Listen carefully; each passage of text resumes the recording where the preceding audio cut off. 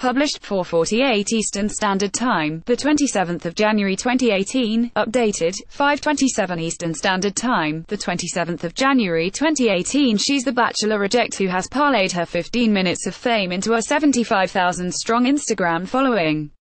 And Kiki Morris showed once again why she is so popular on social media, taking to Instagram on Saturday to share several revealing bikini snaps. Former glamour model flaunted her surgically enhanced assets in an orange bikini as she caught some rays at the beach.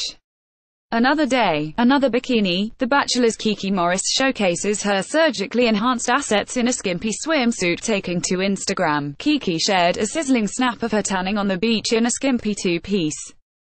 The one-time reality TV contestant showcased her surgically enhanced cleavage in an orange bikini top. Kiki's toned legs and stomach were also on display as she flaunted her very pout bathing beauty.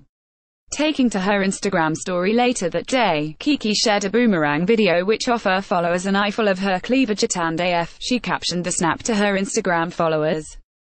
Taking to her Instagram story later that day, Kiki shared a boomerang video which offered followers an eyeful of her cleavage blowing a kiss to the camera with her plump pout. This Velt brunette could be seen cooling off in a pool.